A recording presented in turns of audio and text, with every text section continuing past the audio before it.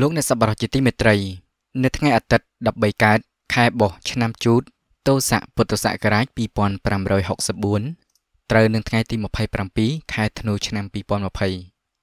ព្រះមហាធម្មមាលង្ការោចន្ទសិជនព្រះគ្រូចាអធិការវត្តប្រាសាទស្រះកណ្ដាលខ្ចាស់ដែលស្ថិតនៅក្នុងឃុំបោះស្បូវស្រុកបណេព្រះខេត្តបន្ទាយមានជ័យបាននិមន្តទៅទទួលផាត់ថ្ងៃត្រង់នៅ Bori the Premier Angkor Palace ស្ថិតក្នុងខេត្តសៀមរាប ក្នុងពិធីឡើងគេឋានថ្មី ដោយមានការនិមន្តចូលរួមអំពី ព្រះសីមាវិចិត្រឡុងសុមនីព្រះមេគុណខេត្តព្រះវិហារព្រះធម្មញានពុកចម្រើនព្រះគ្រូអនុគុណក្រុងប៉ោយប៉ែតក្នុងនោះក៏មានកិច្ចផ្ដល់អាវ៉ាតខ្លីនិងចម្រើនព្រះបរិត្តផងដែរដើម្បីជាមង្គល និងសិរីសួស្តីដល់ម្ចាស់គេហដ្ឋាន សូមអរព្រគុណនិងសូមអរគុណ thank you